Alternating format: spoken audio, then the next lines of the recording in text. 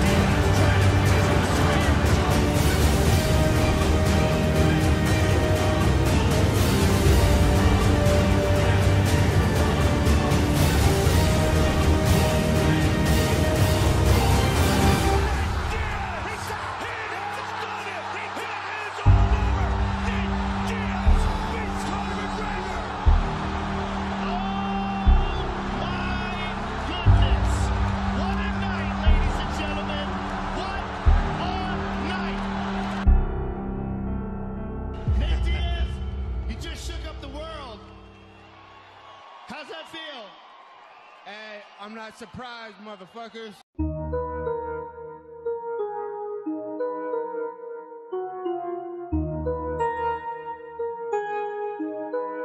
call me a cholo, but that's the background I come from, you know? It's like hardcore where I live. If, if he would have came from where I come from, he wouldn't have made it. We make it out of where we come from, and you don't know what I've been through. There's no quitting, man. I'm trying to kill these people, trying to injure them. They're trying to do it to me.